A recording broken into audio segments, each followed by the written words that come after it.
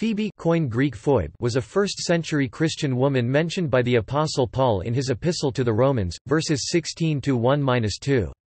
A notable woman in the Church of Cenchreae, she was trusted by Paul to deliver his letter to the Romans.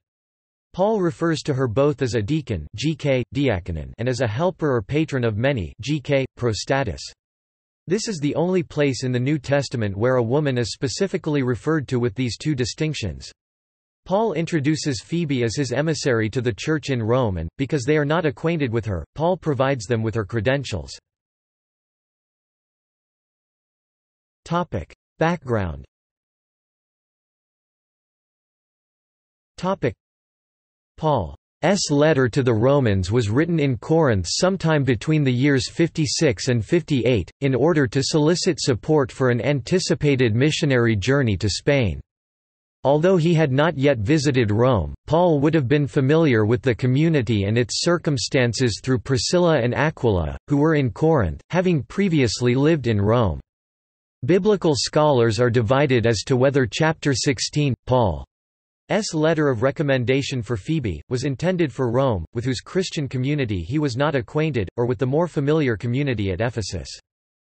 I commend to you our sister Phoebe, a deacon of the church in Cenchreae. I ask you to receive her in the Lord in a way worthy of his people and to give her any help she may need from you, for she has been the benefactor of many people, including me. The name Phoebe means, pure, radiant, or bright, and was the name of a titan in Greek mythology. Some scholars believe Phoebe was responsible for delivering Paul's epistle to the Roman Christian Church. Greek terms for her titles Topic. Topic: Diakonos. Topic: Apostle Paul used the Greek diakonos, diakonos to designate Phoebe as a deacon. A transliteration of the original Greek, it is the same word as used elsewhere by Paul to refer to deacons. The word deacon in Paul S. writings sometimes refers to a Christian designated to serve with the overseers of the Church, while it more often refers to servants in a general sense. In the letter to the Romans, apart from the debated case of Phoebe, it always refers to servants in the generic sense, as opposed to a church office.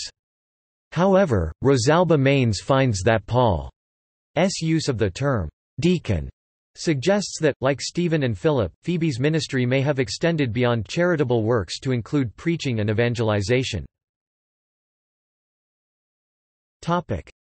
Likewise the women.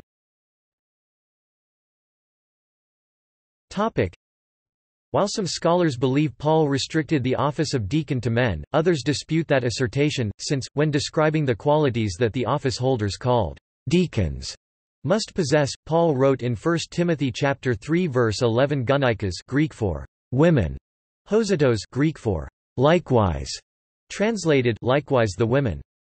Quote, they likewise are to be worthy of respect, not malicious talkers but temperate and trustworthy in everything. Quote, the likewise indicated that the women deacons were to live according to the same standards as the men deacons see also the Apostle Paul's use of the term. Likewise in Romans chapter 1 verses 27, 1 Cor, 7 to 3, 4, 22, and Titus chapter 2 verses 3, 6. Topic: Prostatis.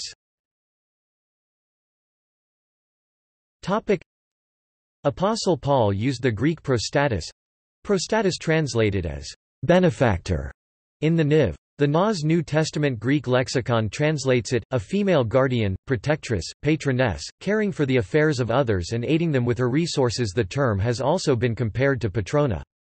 This suggests that Phoebe was a woman of means, who, among other things, contributed financial support to Paul's apostolate, and likely hosted the house church of Cenchreae in her home, as well as, provide shelter and hospitality to Paul on those occasions when he stayed in the town. Topic: Veneration. Topic: The calendar of saints of the Evangelical Lutheran Church in America commemorates Phoebe with Lydia of Thyatira and Dorcas on January 27, the day after the commemoration of the early male missionaries Silas, Timothy and Titus and two days after the feast of the conversion of St. Paul. The Episcopal Church does likewise. However, the Lutheran Church Missouri Synod remembers her on October 25, while the Eastern Orthodox Church and Roman Catholic Church place her feast day as September 3. Topic see also topic Romans chapter 16 topic References topic Further reading Household names, Michael Peppard, Junia, Phoebe, and Prisca in Early Christian Rome, 23 April 2018, Commonwealth topic External links topic Saint Phoebe, Catholic Online Phoebe, Deacon of the Church at Cenchrea, Marg Mowczko